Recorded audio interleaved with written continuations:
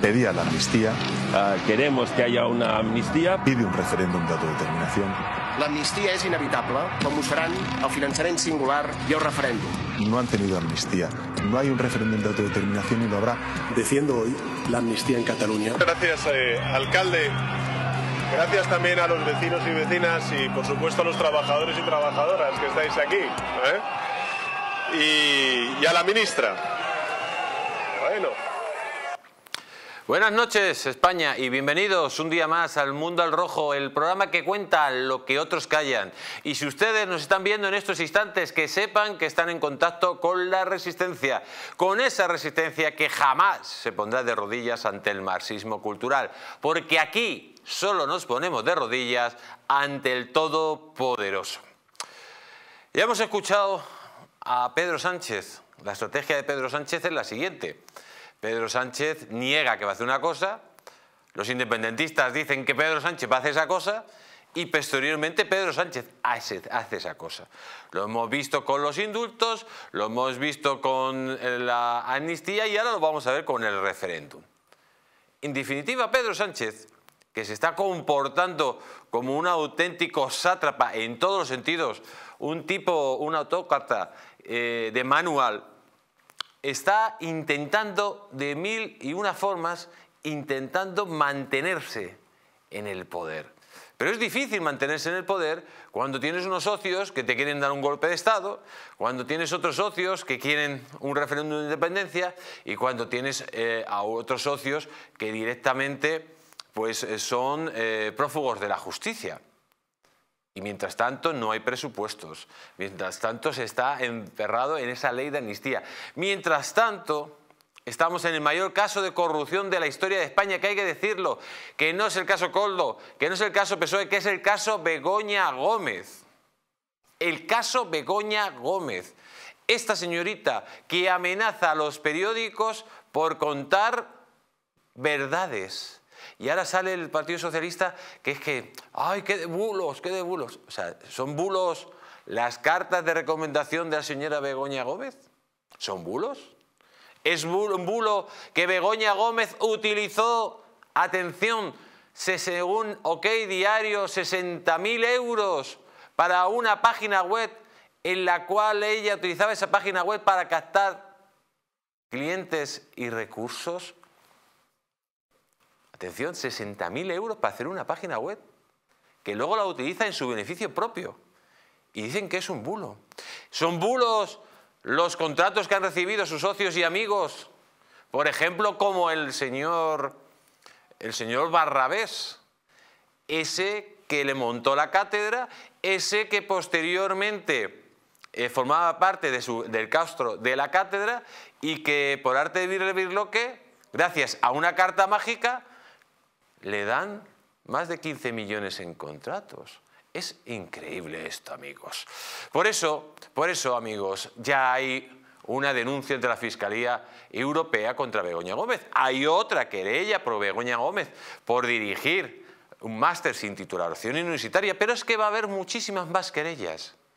Por eso cuando el señor Fijó duda, va a ir Begoña Gómez y, y depende de Sánchez. No, no, no depende de Sánchez, depende de ti que vaya Begoña Gómez. Y los españoles, si los españoles, por respeto a los españoles, Begoña Gómez tiene que estar en esa comisión de investigación. No es cuestión de lo que diga Sánchez, si Sánchez se va a ir de viaje y te va a dejar aquí medio abandonado. En definitiva, hoy, atención, vos proponía que hubiera una querella contra Begoña Gómez, atención, por apropiación de fondos públicos después del conocimiento de que se utilizaran 60.000 euros de la Complutense para hacer una página web en la que Begoña Gómez lo utilizaba para obtener recursos para ella misma. Vamos a escucharlo. Vox sí va a solicitar la comparecencia de la mujer del presidente Sánchez, de Begoña Gómez, en el Congreso y en el Senado para dar explicaciones sobre su posible vinculación en la trama de corrupción del Partido Socialista durante la pandemia. Las informaciones publicadas en los últimos días son de una altísima gravedad y por eso consideramos necesario que se dé explicaciones. Se le han pedido las explicaciones en, el Congreso, en sesiones de control y en otros muchos momentos al presidente y se niega a darlos a dar las explicaciones oportunas y consideramos que, que tiene que darlas. Pues si no las da por un lado, pues tendrá que darlas tendrá que darlas por el otro. Pues nosotros consideramos, y así lo ha decidido el Comité de Acción Política, que no tiene ninguna justificación que la mujer de un presidente del gobierno pues mediara para la adjudicación de contratos públicos millonarios, porque podría suponer pues, un presunto, desde luego, tráfico de influencia. Pues ya tenemos apropiación de fondos públicos para uso propio presunto delito de tráfico de influencias y mientras tanto, Pedro Sánchez, pues no se preocupen. Si ya ha sacado el Franco Modí, si ya se le ha acabado el chollo de meterse con Ayuso y ha salido escaldado, pues ahora un nuevo viaje. Y ahora un nuevo viaje, atención, Pedro Sánchez, el político más apastado del planeta, el político que ningún líder serio del planeta quiere ver, va a hacer una gira internacional para pedir que Palestina sea un Estado. Atención, tiene el país hecho unos zorros, tiene a la parienta directamente la diana por un presunto caso de corrupción. Tiene el partido metido en el mayor caso de corrupción de la historia de España. Porque hay que decirlo, si no hubiera sido... Esto no se organiza desde un ministerio, no, no, esto solo se organiza desde un partido y desde la Secretaría de Organización, presuntamente. Y ahora sale con que va a luchar para que Palestina sea... Venga, váyase usted al guano, señor Sánchez. Váyase usted al guano. Vamos a escuchar a este despojo político que es la portavoz Alegría, pues eh, casi anunciándolo con una solemnidad increíble, como si llegara Mr. Marshall, ¿se acuerda de la película? Pues más o menos así. Permítanme que les haga un anuncio de especial relevancia. Esta misma semana, el presidente del Gobierno inicia una serie de viajes, encuentros y contactos con líderes europeos, con líderes internacionales, para compartir su preocupación por la situación de Gaza y la necesidad de impulsar el reconocimiento de Palestina como Estado. Saben todos ustedes que el presidente del Gobierno ha venido impulsando este asunto en el Consejo Europeo desde el pasado mes de octubre del año anterior y también el pasado 22 de marzo firmó una declaración conjunta con otros tres primeros, primeros ministros en los que se comprometen a reconocer a Palestina como Estado. Además, la semana pasada el presidente del Gobierno viajó a Jordania, Arabia Saudí y a Qatar para tratar este asunto con actores claves del mundo árabe y explorar así. Pero, pero esta mujer, miren, hasta engola la voz. Va a hacer una, un viaje con líderes importantes para hablar de la situación de Gaza. Pero ¿qué pinta? O sea, ¿qué pinta este tipo? Hablando de Gaza, del Estado de Palestina, cuando está de rodillas ante una narcodictadura como la de Marruecos, cuando tiene a un poder, a una eh, país occidental de rodillas ante una narcodictadura como Marruecos? ¿Ustedes creen que va a hacerle algún caso a alguien? Cuando estamos de rodillas ante el cártel de Puebla, ante el cártel de Venezuela. ¿Pero usted creen que a este tipo le respeta a alguien cuando está en el poder porque un prófugo le ha votado? Y vienen ahora que se va a reunir, vaya usted, como hemos dicho, por dónde ha venido. Y amigos, atención, que a Sánchez de nuevo de nuevo otra espada de Damocles. Tiene a todo el mundo en rebelión. ¿Se acuerda lo que decía él de qué depende la fiscalía? Pues eso, la de fiscalía dependía de él.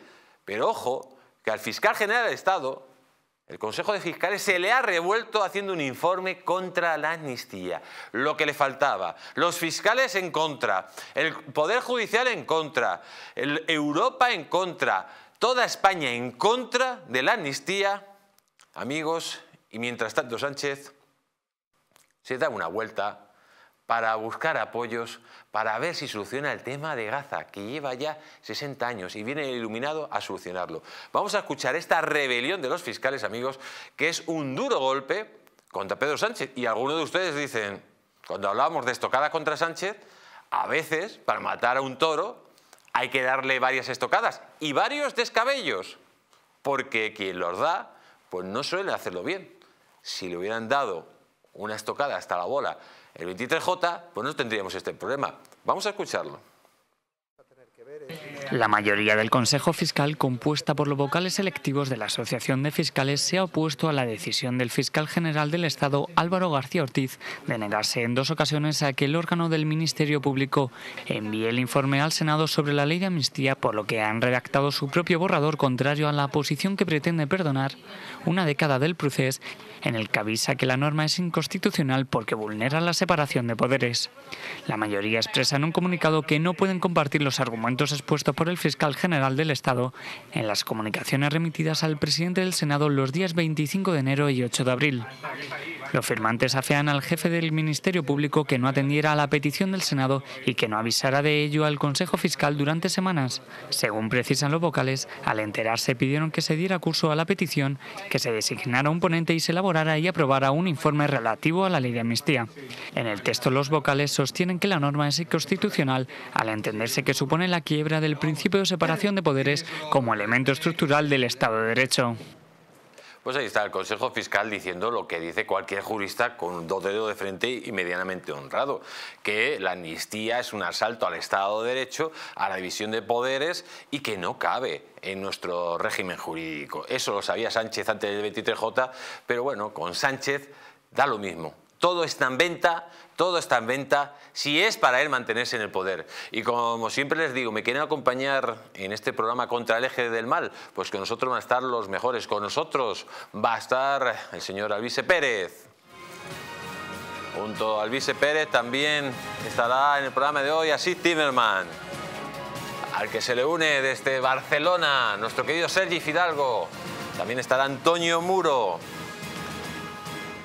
nuestro informático de cabecera, el señor Gabriel Araujo, junto a Fran Trejo y nuestro querido David Gómez, en un programa, amigos, que todos ustedes no se pueden perder. Y como siempre digo, como siempre digo, hoy más que nunca, más resistencia, más resistencia. Los que están viendo el mundo al rojo son más resistencia que nunca. Por esa relación, digo, porque nos están viendo cuando se está emitiendo ese partido de Real Madrid. Por cierto, va ganando 2-1 para aquellos que lo sepan. Iremos informándoles. Recordarles dónde nos pueden ver en la TDT de Madrid, de Guadalajara, de Galicia, de Aragón, de Valencia, Murcia, Sevilla, Islas Canarias. Nos pueden seguir a través de las aplicaciones que se pueden bajar en teléfonos móviles, en tablets, en televisores inteligentes. Si no tiene un televisor inteligente, cómprese un Fire TV Stick compatible con Amazon, Google o Xiaomi. Recordarles, como siempre, también nos pueden ver en Estados Unidos a través de la plataforma Roku. Y ya lo saben, desde el 1 de marzo nos pueden ver a través de las cableras en toda América, desde los grandes lagos hasta la Patagonia, por medio de TV Libertad, nuestra televisión hermana. Recordarles redes sociales, Twitter, Facebook y YouTube. Desde aquí, un fuerte abrazo para Mari Carmen y para esos guerreros que nos siguen día y noche sin descanso. Y también nos pueden mandar sus mensajes de WhatsApp al teléfono que de pantalla al 669 728673 y vamos a empezar, amigos, porque lo hemos dicho, nuevas informaciones acorralan a la mujer de Pedro Sánchez.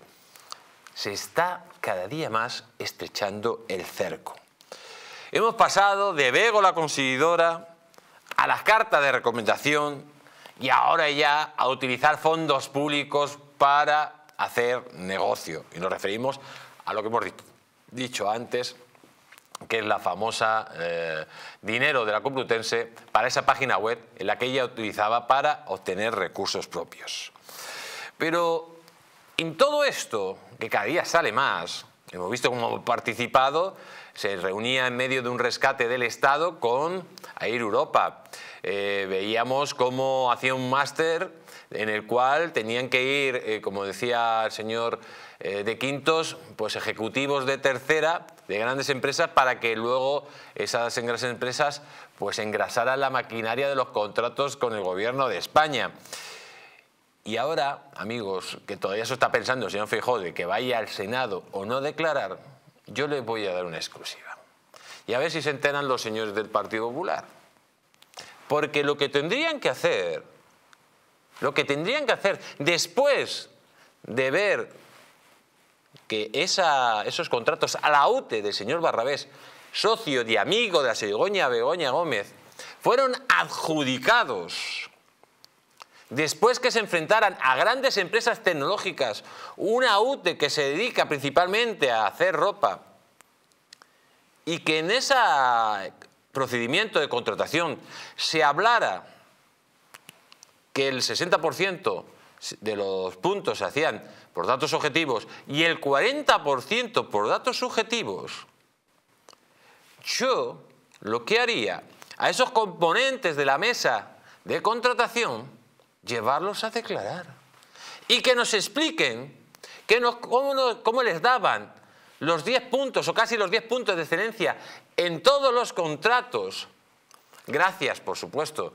o presuntamente a la carta de la señora Begoña Gómez, por datos subjetivos.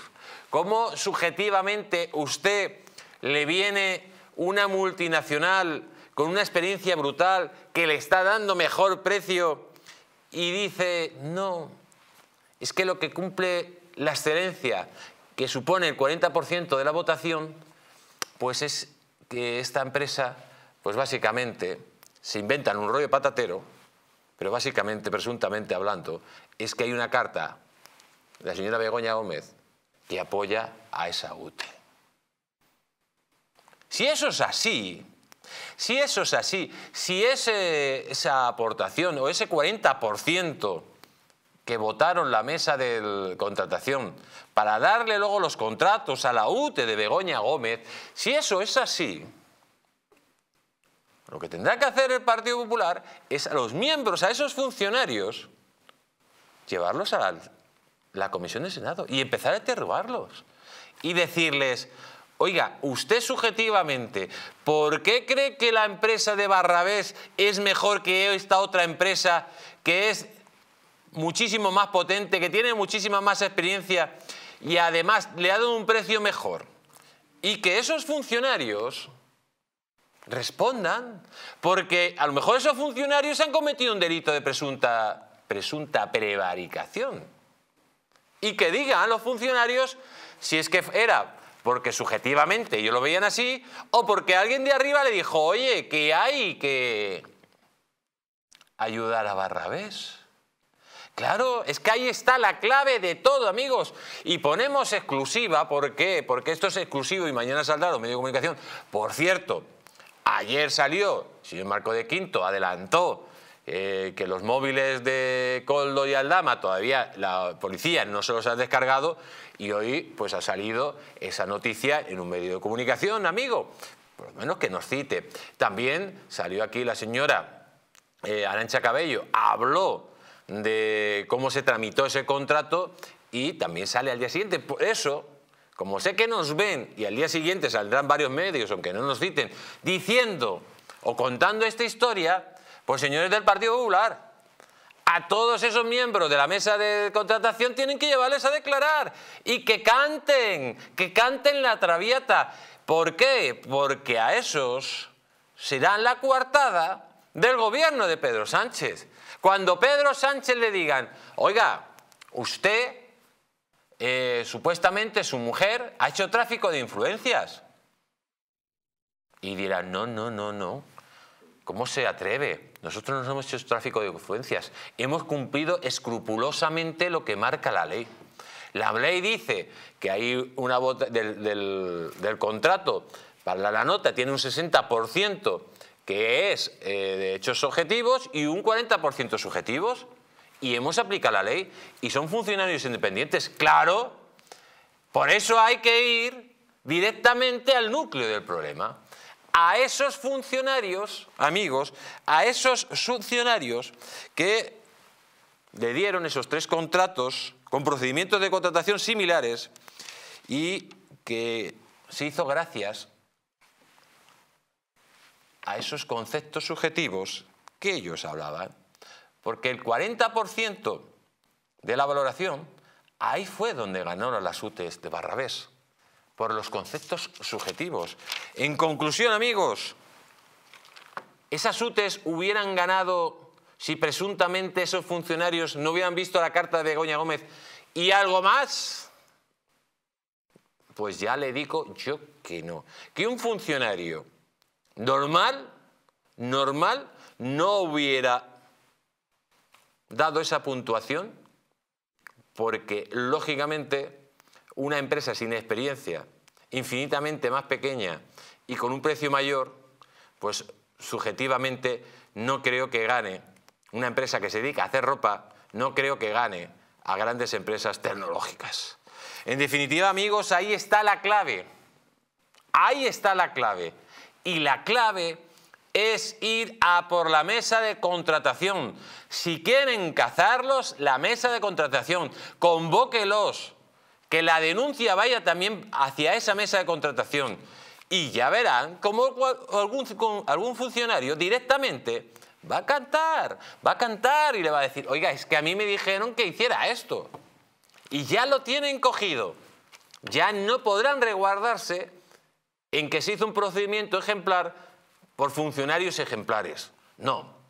Aquí ya sería presuntamente que se ha hecho un procedimiento no ejemplar por funcionarios no ejemplares que fueron condicionados por una mano de este arriba. Y eso en mi pueblo se llama tráfico de qué? De influencias. Y recuerden que no les engañen, que no, que no les engañen, que no les engañen estos del tráfico de influencias, porque la verdadera libertad consiste en estar bien informados.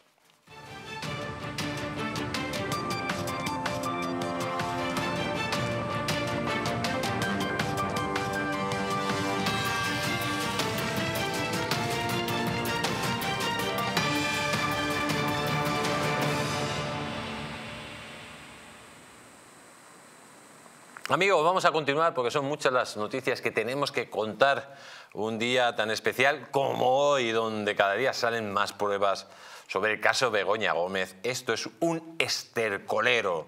Dicen que el diablo es puerco. Pues amigos, hay algunos que son puercos, no, puercos a la décima potencia, porque se retuezan entre la corrupción como chancho en poza. En definitiva, hoy el Tribunal Constitucional, amigos, pues eh, ha suspendido, dice la noticia, el, Constitucional suspende la iniciativa del Parlamento catalán para declarar la independencia. Bueno, ahí tenemos a Conde Pumpido. Parece que hace, pero no hace. Digo que parece que hace a favor de España, pero no hace lo que hace es en contra de España. Tenemos al otro lado de Sky a nuestro querido Antonio Muro. Buenas noches, ¿cómo está usted?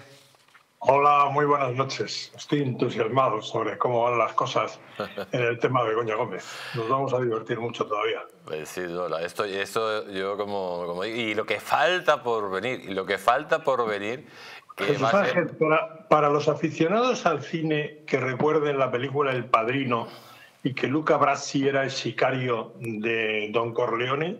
¿Tú qué piensas que diría alguien que recibe una carta de Luca Brasi sobre lo que tiene que hacer? claro, claro. Eh, eh, no, imagínese el panadero controlado por que controla la mafia que recibe esa carta pues le va a dar a usted lo que tenga que darle. Pues evidentemente, eso es. Eh, pero tenemos hoy que el Constitucional ha suspendido la iniciativa del Parlamento catalán para declarar la independencia. ¿Qué opina usted de esto?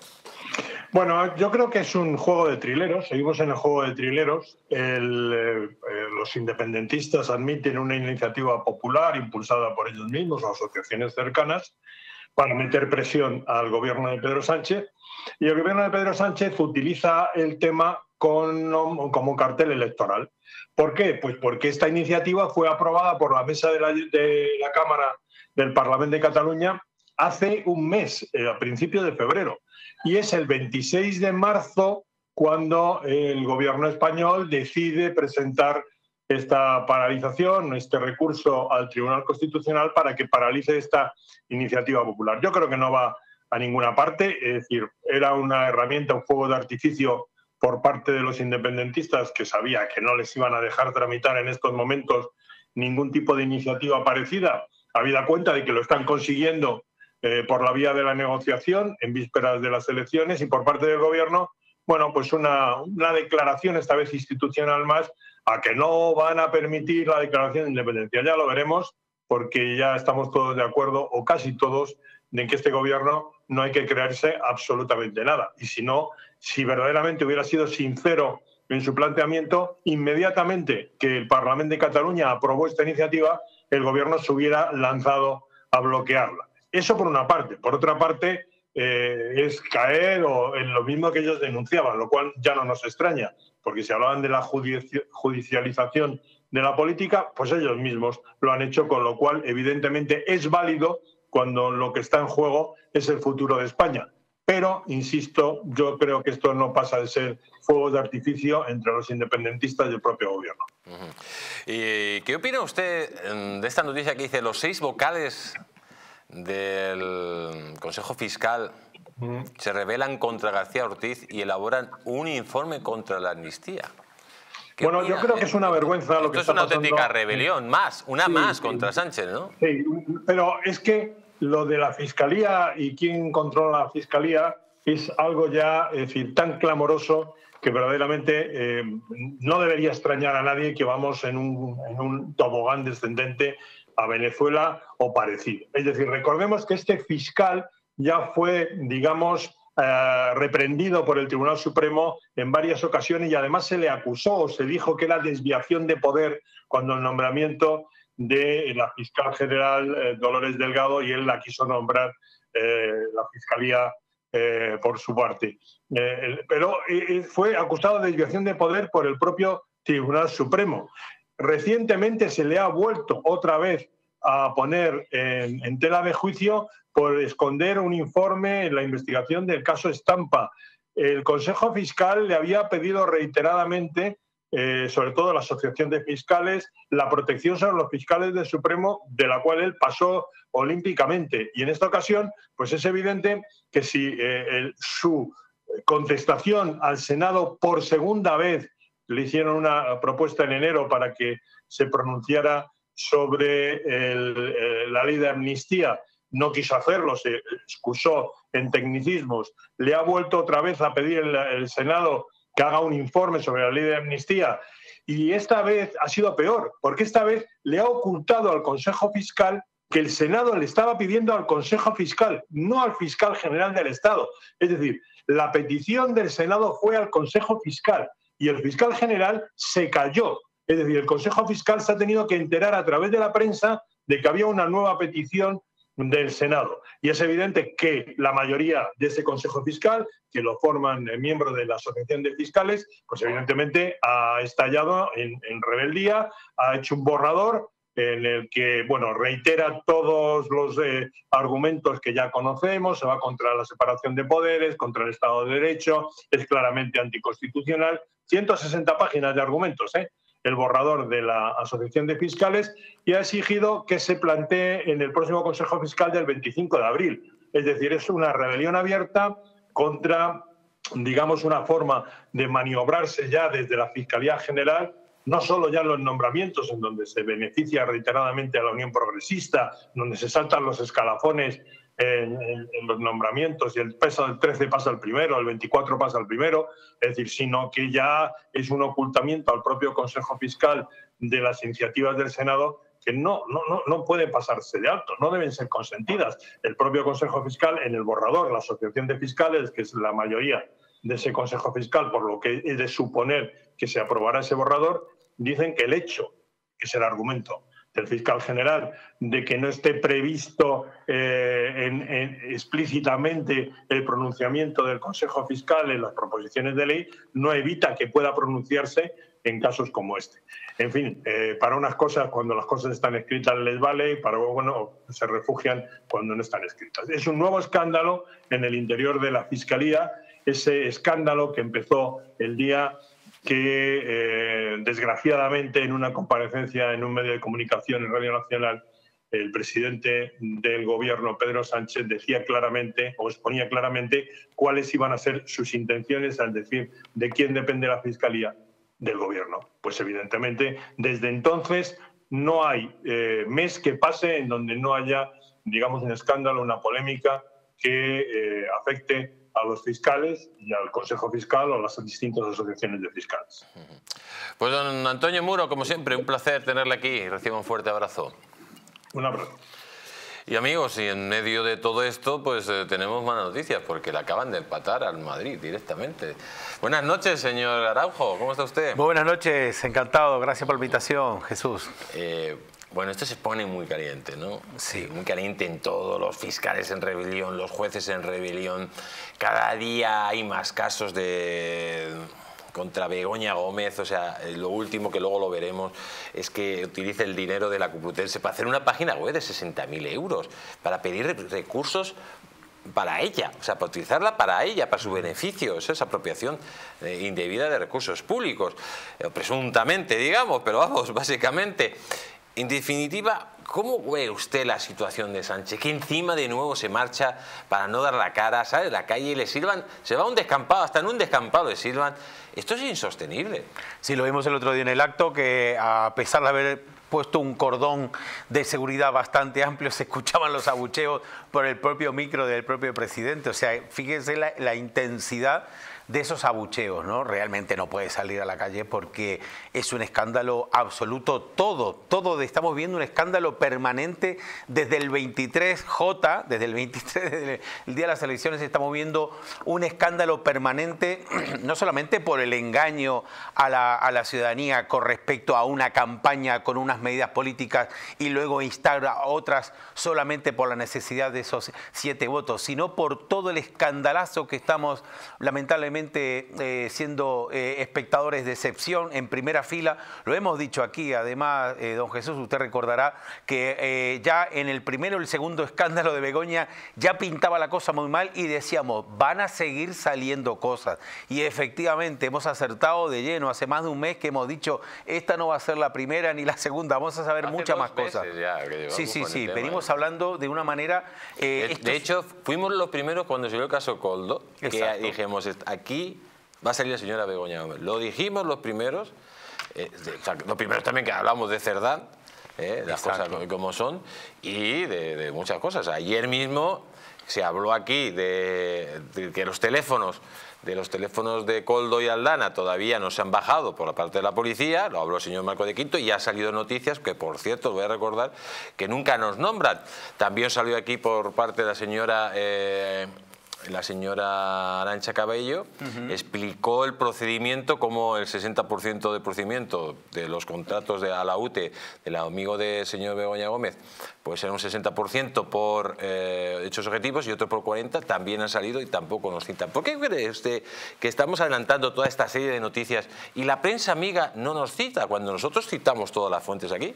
Claro, eh, bueno, me gustaría después referirme al tema de los teléfonos y el volcado porque especialmente... luego, vamos a hablar de Luego lo vamos a hablar, efectivamente, pero por contestar su pregunta, realmente eh, no, no, no, entiendo por qué hay eh, en determinados medios pues esta especie de pugna, ¿verdad? Porque realmente la información es pública y realmente el cuarto poder debe funcionar como está funcionando, ¿verdad? Es cierto que hay algunos medios que están un poco desafortunados con algún tipo de investigación por ese ánimo de ser los primeros, pues se equivocan, como el tema de las subvenciones de Begoña Gómez, en fin, hay algunas, hay algunas pifias por allí por apresurarse y por ser los primeros en dar la, noticia. Pero realmente, efectivamente, esto es importante y lo hablábamos la semana pasada cuando hablamos de las cifras de éxito que muestra eh, el distrito.es, especialmente la página web.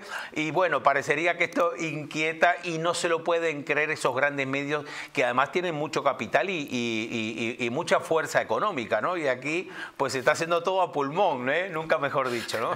La NEA, ¿no? Exactamente, exactamente, exactamente. Vamos a continuar porque, atención, dice que el Partido Popular presenta un veto en el Senado a la amnistía y fuerza una nueva votación en el Congreso. El PP quiere mostrar todo su rechazo a la ley de amnistía y por ello ha presentado un veto a la norma en el Senado que está ahora tramitándose en la Cámara Alta. Con el veto, los populares fuerzan una nueva votación en el Congreso, ya que la Cámara Baja tendrá que levantarlo con la mayoría absoluta que forma el Partido Socialista y sus socios independentistas para que la ley de amnistía pueda lograr la aprobación definitiva y entrar en vigor. Vamos a presentar un veto a toda la ley de amnistía para que quede claro que no cuenta con el apoyo mayoritario del Senado, como tampoco cuenta con el apoyo de los españoles, ha señalado este martes la portavoz del Partido Popular en el Senado Alicia García, quien ha señalado que la amnistía es inconstitucional y se está tramitado de forma fraudulenta.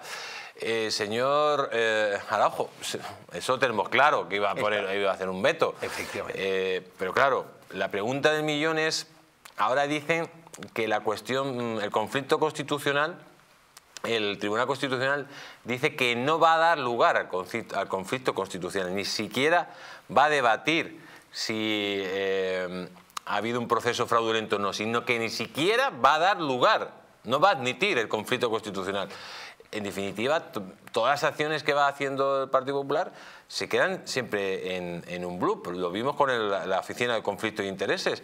Eh, ¿Tendría que apretar más el acelerador o tendría que haber hecho el conflicto constitucional sin tramitar la ley en el Senado?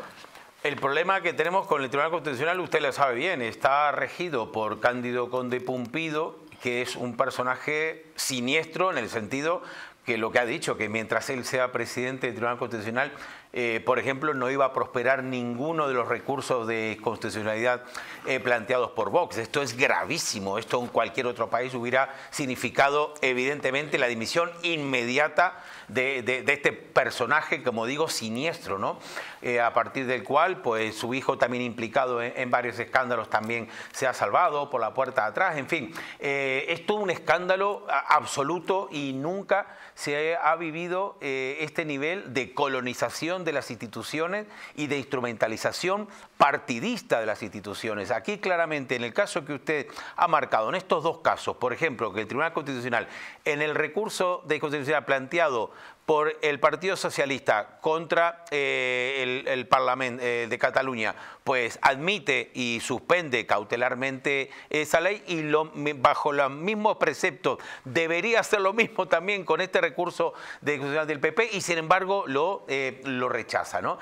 o lo inadmite. Es decir, que realmente aquí es una prevaricación del libro, es decir, tenemos unos supuestos casi idénticos en lo que tiene que ver con la base del basamento jurídico y sin embargo hay una actitud disímil ¿no? ante una situación casi idéntica. Por tanto, es realmente otro escándalo más, es un motivo más de dimisión en, bloque del Tribunal Constitucional, porque es el propio Tribunal Constitucional en muchos de los votos contrarios de la parte eh, conservadora del, Tribunal Constitucional que dice que ellos mismos dicen que no hay precedentes en el escándalo que significa el estar conformado el Tribunal Constitucional como, como está, con el mandato caducado de muchos magistrados y claramente con una orientación partidista incompatible con un sentido de la justicia, ¿no? Pues amigos, vamos a continuar y vamos a continuar eh, con la señora Cayetana Álvarez de Toledo, que directamente dice que España está en un proceso de liquidación de la nación constitucional. Vamos a escucharlo. Sí, nosotros no tenemos un gobierno en sentido estricto, sino que es un proceso en marcha liderado ahora por el Partido Socialista. Un proceso que es de desguace del Estado y de liquidación de la nación constitucional. Ese proceso ha tenido varias fases. La legislatura pasada hubo hitos importantes, ha citado alguno, la rebaja la malversación, la derogación de la sedición, los indultos a los golpistas, el blanqueamiento de Bildu, la aprobación de esa ley de memoria antidemocrática, la demonización de la oposición, eh, los ataques, algunos civilinos y otros frontales a la corona. Es decir, esto es un proceso. Y el hito más importante de ese proceso lo estamos viviendo ahora eh, con la amnistía, con la ley de amnistía. Pues sí, tenemos a la señora Toledo, que es la que habla muy claro, pero claro, eh, ¿lo tienen tan claro dentro de su partido? Bueno, eh, eh, la señora Cayetana Álvarez de Toledo, pues es una de las voces frescas que, digamos, aporta realmente al debate esa claridad de ideas, ¿no? Con, conjuntamente con Isabel Díaz Ayuso en algunas eh, cuestiones también, o García de Enero, en fin, forma parte de esa playa de, políticos del PP que realmente lo tienen muy, muy claro y no hay ni una sola fisura en, en su planteamiento, ¿no? evidentemente estamos completamente de acuerdo con las palabras de Cayetana Habla de Toledo con respecto al tema de la amnistía que, repito, eh, venimos arrastrando esto del día 23J cuando estamos claramente ante un fraude electoral, no solamente por todo lo que venimos hablando del propio proceso electoral, sino porque realmente se ha instaurado unas políticas de gobierno que nadie ha votado. Ha sido un engaño frontal, ha sido la mayor estafa en la historia de la democracia de España. No es posible, eh, don Jesús, que usted y yo hagamos un partido y digamos que vamos a dar piso que nos voten, que vamos a dar piso gratis a todos los españoles, y como necesitamos siete votos de otro partido, no solamente no vamos a dar piso gratis a, a los españoles, sino que le vamos a expropiar. ¿Por qué? Porque necesitamos esos siete votos. Esto es lo que ha pasado. Este es el ejemplo claro de lo que ha pasado. Y la señora Cayetana Álvarez Toledo realmente pues, ha acertado de pleno eh, en lo que ha comentado. ¿no? Pues atención que Puigdemont promete regresar aunque pierda los comicios y dejar la política activa si no recupera el cargo.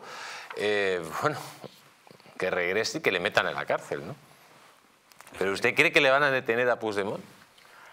Bueno, ahora le ha ofrecido el Tribunal Supremo eh, comparecer por videoconferencia. Eh, en fin, esto me parece también eh, bastante escandaloso por es cierto que la ley ahora mismo, con, a partir del 20 de marzo, que ha entrado en vigor esa modificación, la más importante del año pasado, permite y tiene esa posibilidad de comparecencia telemática incluso eh, preponderante frente a la, a la, comparecencia presencial, pero vamos, se está viviendo el señor Puigdemont a 30 kilómetros de la frontera. Quiero decir que eh, yo creo que se Qué vergüenza que, que, en Europa un, un, delincuente no sea detenido, ¿no? Cuando hay un, una euroorden que tendría que ser automática.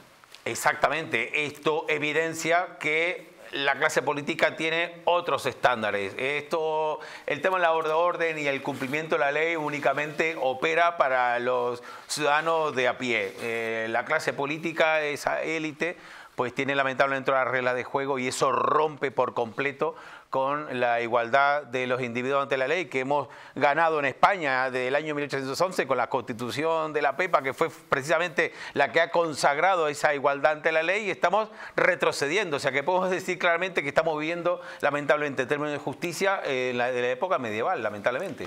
Pues vamos a continuar porque, atención, si éramos pocos, parió la abuela y está EH Bildu, quiere un nuevo marco político, atención, un nuevo marco político y un referéndum durante el gobierno progresista de Pedro Sánchez.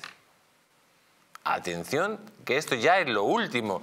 O sea, referéndum en Cataluña, referéndum en Vascongadas. Eh, Pedro Sánchez lo que está haciendo, es lo que dice usted, es liquidar la nación porque la tiene ahora mismo en saldo. O sea, lo está vendiendo todo para poder pagar sus cuitas. Efectivamente, y además lo hablamos el otro día, el peligro de esa disgregación, de esa, eh, de esa destrucción del mapa territorial de España, porque le daría pie a, redactar una nueva constitución como ha hecho Maduro en Venezuela, ¿verdad? Es decir, que le daría pie y tendría base jurídica y legal para eh, la Constitución del 78 realmente de quedar sin efecto a través de eh, pues esta disgregación territorial de España, que es un precepto constitucional importantísimo. ¿no? Estamos viendo además que el propio Jun ha dicho que estaba negociando eh, el PSOE precisamente ese referéndum de autodeterminación. Lo niega eh, los socialistas, pero claramente los independentistas han sido muy claros, se han reiterado, y esto realmente es un escándalo. ¿Cómo es posible que por detrás de los españoles se esté negociando la disgregación de España, la pérdida territorial? Territorial de, Cataluña. Esto es gravísimo, sobre todo pensando en que más de la mitad de, de las personas son constitucionalistas, son unionistas, no quieren separarse de España. Este es el problema. Pues sigamos amigos, porque atención que en Sumar, ya lo llevamos diciendo mucho tiempo, está en plena descomposición y uno de los grandes culpables es el propio Pedro Sánchez, que está actuando para que este, esta coalición desaparezca y el voto radical pues siga yendo al Partido Socialista.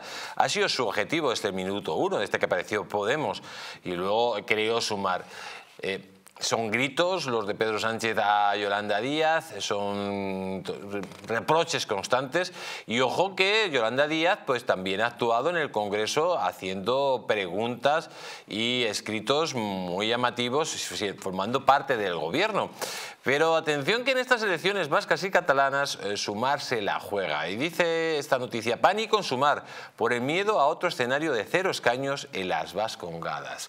Señor Araujo, ¿qué pasaría si de nuevo sumar seda, saca cero escaños en las Vascongadas.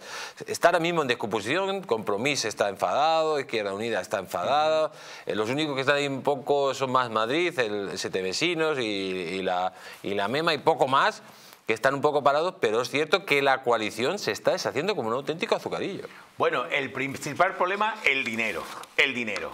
al no obtener escaño, no obtienen dinero. Sabemos que cada escaño se paga con las subvenciones y cada voto también tiene su dinero. Por eso una de las cosas que hemos eh, descubierto con el tema del escrutinio popular es que hay un inflado eh, eh, de, en cantidad de votos que también bueno, tiene un cierto fraude con esa subvención por voto que obtienen los partidos políticos. Por tanto, la primera preocupación más que nada es los dineros, ¿no? El primer, la preocupación de, este partido político, de, sumar. Evidentemente, se están dando cuenta también que, Sánchez le ha hecho la cama, digamos, le ha eh, utilizado para disgregar, eh, sobre todo disolver Podemos, que es realmente una formación muy incómoda, ha convencido a, mm, a la señora Yolanda Díaz también con un perfil eh, bastante menos político y a nivel de capacidad también como para no ser realmente un rival y al mismo tiempo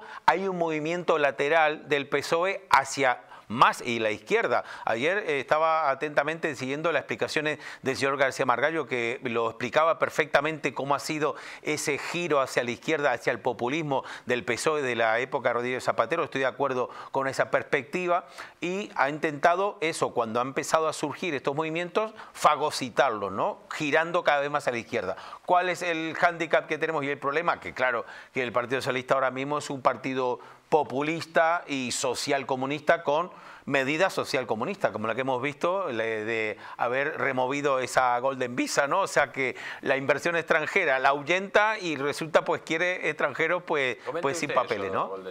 Claro, la Golden Visa era una medida muy positiva porque eh, invirtiendo 500.000 euros eh, a los ciudadanos extranjeros se les daba un permiso de residencia, no la nacionalidad como mal, eh, equivocadamente informan algunos medios. Era sencillamente un permiso de residencia para poder seguir invirtiendo en España, crear una empresa y eh, bueno, vivir como residente, como residente extranjero, ¿no? Con su permiso de residencia. Hoy lamentablemente esto lo hemos visto que han removido la Golden Visa, es decir, esas inversiones que entraban que eran muy significativas y sobre todo eran grandes capitales, pues evidentemente se van a ir a otros países porque no tienen ese incentivo de invertir en España, de comprar una casa y al mismo tiempo con ese permiso de residencia poder crear una empresa al nivel de, de cualquiera de los españoles, ¿no? Por tanto, eh, estamos hablando de un social comunismo, vamos, pero de libro, ¿no? De libro, es ahuyentar el dinero, ahuyentar los inversores y promover pues la entrada de inmigrantes pues con, con mínimos recursos, lamentablemente, ¿no? Pues amigos, eh, vamos a terminar ya con esta noticia, este bloque, que dice que lo más granado del mundo intelectual ya repudia el sanchismo y el país. Atención a esta noticia que es importante porque es que ya la socialdemocracia, los líderes socialistas de toda la vida, los intelectuales de prestigio, de izquierdas, de derechas, todos repudian ya el sanchismo. El sanchismo, la peste que está directamente infectando España, es ahora mismo repudiada por la mayor parte de la población a pesar de dominar todos los medios de comunicación. Si no lo dominara este, el Partido Socialista de Sánchez, hubiera directamente desaparecido. Sí, porque, eh, ¿por qué se repudia? Porque el socialcomunismo es hambre y miseria. Lo hemos visto en todos aquellos países donde se han instaurado estos eh, regímenes.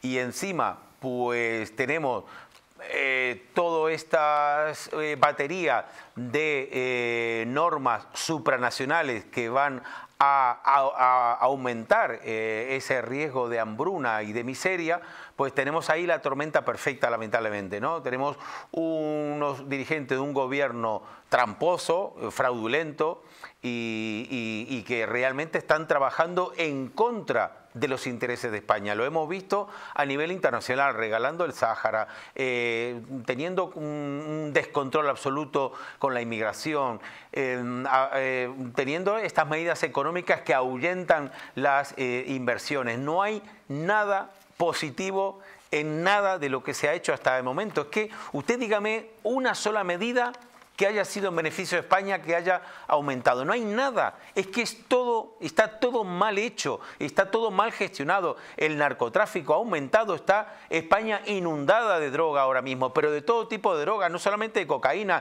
de fentanilo, estamos eh, eh, la, cocaína rosa, es decir, han, eh, ahora mismo es, es, es una debacle que está sufriendo España que realmente es muy preocupante. No hay ni una sola medida positiva que haya hecho este gobierno. Y esto lo digo con total objetividad no hay nada, nada que se pueda salvar de lo que llevamos de, legislatura, ¿no? Pues amigos, eh, la verdad que no hay nada que se pueda salvar, pero hay buenas noticias. Señor Arauja, ¿a usted le gustaría adelgazar dos kilos en dos días? Me gustaría, además, me sé el teléfono de memoria, 902 15 14 14. ¿Por qué? Porque he llamado y ya tengo el pack express de, para adelgazar. Oye, pues amigos, pues mire, aquí el señor Araujo va a coger un tipín de torero. Si ustedes, ustedes amigos o amigas, directamente pues quieren bajar esos dos kilos en dos días.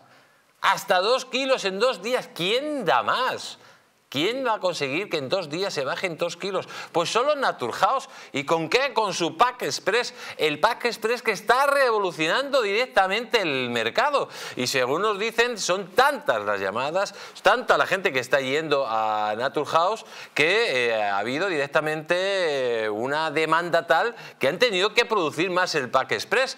Porque es algo que está revolucionando el mundo de la dietética con el Pack Express hasta dos kilos en dos días. ¿Y dónde puedo encontrarlo? En naturhaus.es o en la tienda más cercana o en el número de teléfono que nos dice el señor Adajo y que tienen ahí en pantalla. A ver, señor Adajo, 902. 902 15 14 14. Pues ahí lo tenemos. Con el Pass Express, amigos, se acabó, se acabó los problemas de sobrepeso. Nos vamos a publicidad, pero no se vayan porque vamos con el tema Begoña Gómez. Atención. Los datos, los datos, atención, los datos de los móviles del contacto de Begoña Gómez y de Coldo, todavía la policía no los ha sacado del teléfono, lo vamos a ver. Además tenemos aquí un perito informático que se lo va a explicar de primera mano lo que puede suponer eso. Vamos a ver cómo supuestamente Begoña Gómez ha utilizado dinero público para sus propios negocios, que eso sería ya otro presunto delito. Y vamos a ver, amigos, vamos a ver, porque el famoso contrato de los lotes de Barrabés pone en un brete a la mesa de contratación. Esos funcionarios tendrán que ser denunciados por presunta prevaricación, porque no cuadra su subjetividad con la realidad. Lo vamos a ver todo después de publicidad. Esto, amigos, está que arde.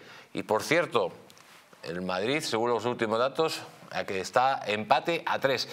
Volvemos muy rápido, amigos.